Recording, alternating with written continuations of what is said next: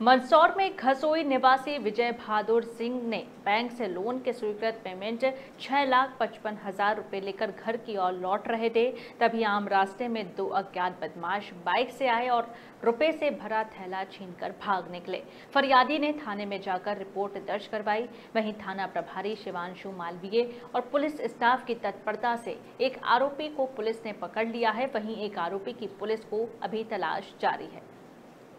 कल दिनांक को विजय बहादुर सिंह टीचर हैं जो खसोई में, उनके द्वारा बैंक से साढ़े छः लाख रुपये निकाले गए थे, सेंट्रल बैंक ऑफ़ इंडिया से। दो बदमाश उनके बैंक से एक ही कर उनका पीछा कर रहे थे, जिन्होंने उनका बैग लेकर के भागे थे।